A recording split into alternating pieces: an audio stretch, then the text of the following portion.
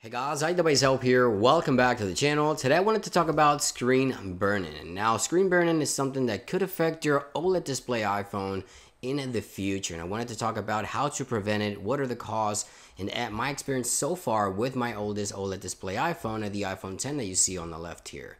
Now this iPhone 10, I've used it since its original launch on November of 2017.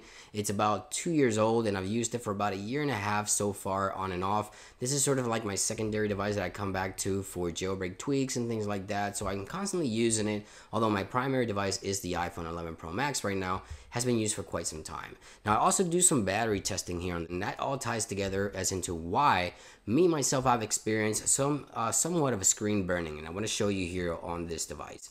Now before we continue I did wanted to give you some information for those of you that may see this sign here. If you ever see this on your iPhone, so important display message, unable to verify your iPhone has a genuine Apple display. This is something that you can check going to settings general, and about. This message shows up here. That means you don't have a genuine display. If you're looking to buy a secondary or second-hand device, do not purchase it if you see that message because obviously it's not a genuine Apple display and it tends to uh, not perform as well. So let's head on over to the Photos application here. And both of these devices, again, this is the iPhone 10. This is the iPhone 10s. I'm sure you can see the difference on the display. I can see on this one here sort of a ghosting effect, sort of like a darker shade of white and both of these devices do have the exact same settings. So if we go here to display and brightness the brightness is pretty much identical.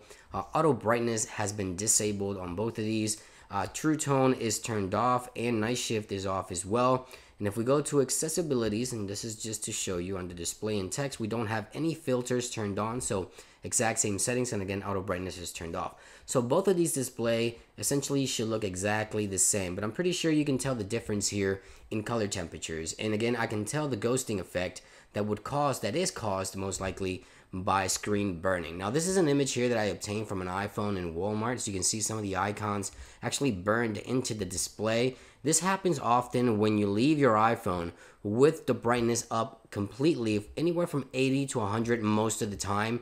And here on this channel of course due to the nature of what I do I do a lot of battery testing. So the brightness is always on the display is always on when I do those tests for long hours 8 to 9 hours in some cases. And that can cause screen burn-in. And it looks like that has been affecting this iPhone 10 here. This doesn't happen so often because Apple and other manufacturers do have software techniques and hardware techniques to prevent this. For example these two devices do have Samsung displays but Apple software shifts the pixels so that this doesn't happen uh, as easily. But you can tell that it has happened on this iPhone 10 and even if I go into dark mode here you can see that even the dark colors do not look as dark as the iPhone 10s on the right how to prevent it? Well, very simple. Make sure you don't keep your iPhone's display at a peak brightness for the most part. Try to keep auto brightness turned on. Now, me, for example, I do videos on YouTube, so I constantly have auto brightness turned off. So right here it is, auto brightness. It is constantly turned off because I like to keep the exact same brightness throughout the video for video quality purposes. But I would recommend keeping the brightness at a certain level every time. If you want to keep it at a 60 or below, just keep auto brightness. Do not keep it at full capacity all the time or this could occur on an OLED display. Now OLED displays are found on iPhone 10, iPhone 10s, iPhone 10s Max, iPhone 11 and iPhone 11 Pro.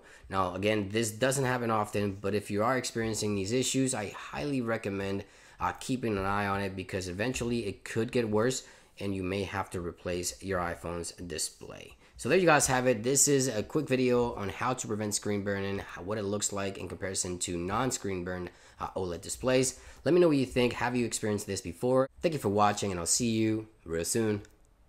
Peace.